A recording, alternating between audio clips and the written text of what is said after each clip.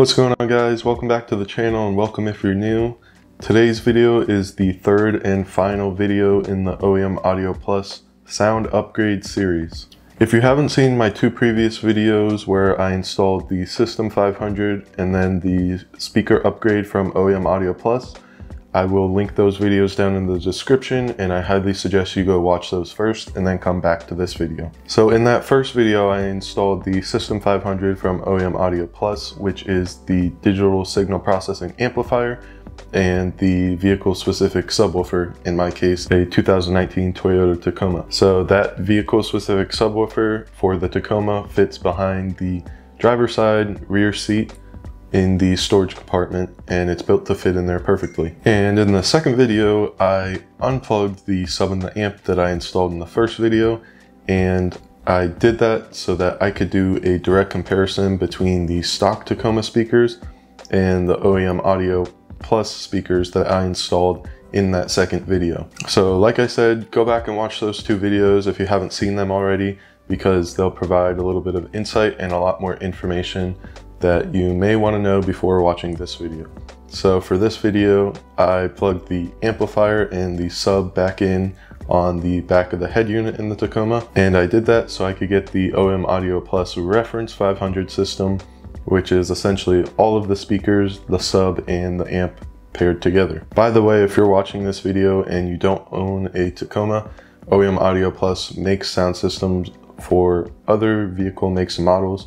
So go to their website and check it out if you're interested in a system like this. So like I said, in plugging the amp and the sub back in, that basically gave me the full Reference 500 system from OEM Audio Plus. So the Reference 500 system is a $1,600 sound system that includes the digital signal processing amplifier, the vehicle specific subwoofer, and the six speakers, which are the 6.5 inch coaxial speakers in the rear, the 6x9 woofers in the front, and the 1 inch soft dome tweeters for the very front up by the windshield. So with that system in place and the sub and the amp plugged back in, I went in the truck and similar to the previous two videos, I played the same five songs that kind of spanned a few different genres, including rock, country, hip hop, and rap and that's to give me a good range of you know different listening scenarios plus I listen to a very wide variety of music so I definitely wanted to know how the system performed for different types of music with different bass levels and whatnot. So with that said, in the previous video, I said I missed the sub that I installed in the first video and plugging that back in for this video, the reference 500, was again a night and day difference over not having that sub. And that's pretty obvious. That's nothing new. But that sub paired with the OEM Audio Plus speakers that also provided more bass to the vehicle as a whole, it, it's just insane. You know, it pairs very nicely. The bass coming from behind you with the sub is crisp, it's clear, and it's loud. You feel it. The bass and the speakers is pretty good. You know, they rattle the doors a little bit, not to the point that it sounds bad, but you know, you can feel it. But in those songs, when the bass is really hitting, the sub behind you kicks really hard and it sounds awesome. And then of course, the amplifier with the OEM Audio Plus speakers is a great combination. It's a lot better than the amplifier with the stock speakers. And if you saw my previous video, you saw how crappy and paper thin the stock speakers were. So that amplifier being able to be paired with the OEM Audio Plus carbon fiber speakers makes a huge difference. The music is a lot louder, a lot clearer, and just better sounding overall. You can definitely tell it's a more high quality system when paired all together how it's intended to be. So would I recommend the Reference 500 system from OEM Audio Plus for the price and personally, yes, I would. And my main reasoning for that and why I think it's worth the price tag is it's completely plug and play.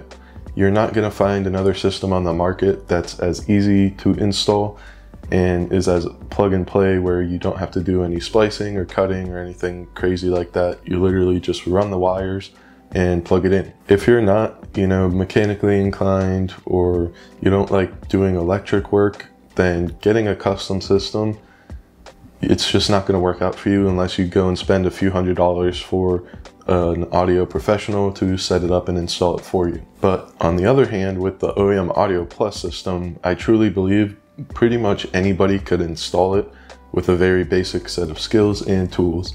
If you know you can pop out trim panels, then you're pretty much set and good to go. So I think that alone makes it worth the cost. But in addition, obviously the system is great. The music sounds incredible on it.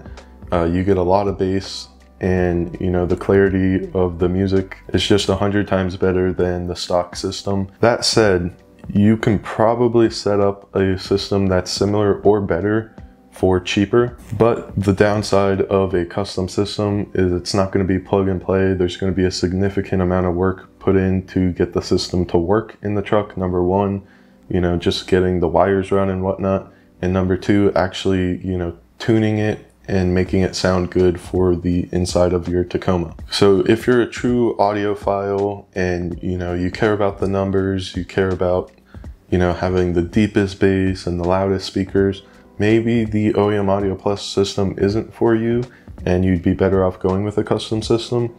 But if you're just a regular person such as myself, then I think the OEM Audio Plus system is definitely the way to go because it's plug and play. And then the final question and really the reason for me splitting this series up into three separate videos is, you know, should I go with the speaker upgrade? Should I go with the System 500, you know, just the amp and the subwoofer?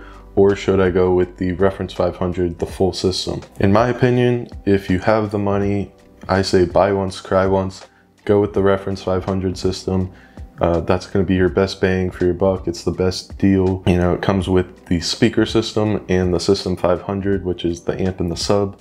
So you know, for $1,600, you're saving a couple hundred dollars by just going and getting the full system right off the bat. But I think the System 500, so the amp and the sub, I think that's a great system for someone who maybe has already upgraded their stock speakers to, you know, some type of speakers that they like, or someone who maybe doesn't want to either put in the work or pay for someone to replace their speakers. So I think that's a great system that's going to provide a lot of value, especially in the bass alone, but also with the amplifier making the music louder and a little bit better through those stock speakers. And then finally, obviously the cheapest option for around $500, the speaker upgrade.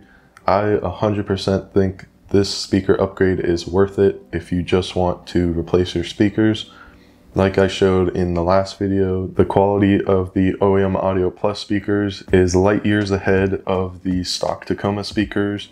Uh, like I said, they're paper thin, whereas the OEM Audio Plus speakers are made out of carbon fiber. They have much stronger and bigger magnets on the back that will help drive the speakers a lot more efficiently. So in summary, I definitely would recommend the OEM Audio Plus system altogether. Any of their systems, the speaker upgrade, the System 500, or the Reference 500, I don't think you can go wrong with any of them.